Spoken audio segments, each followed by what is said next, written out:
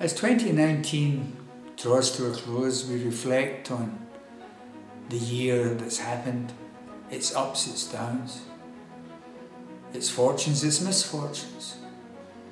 And we at Coming Clean understand that this year the threat of addiction has probably increased far greater than ever before.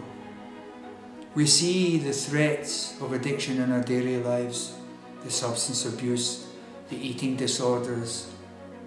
However, what we have to be aware of is one of the most dangerous addictions is this thing in my left hand.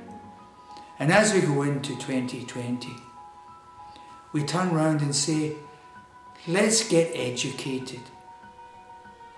Let's get educated about addiction. Let's find out more so that by doing so, we can transform our homes, ourselves, our communities, and our society into a caring, thoughtful, and gentle society.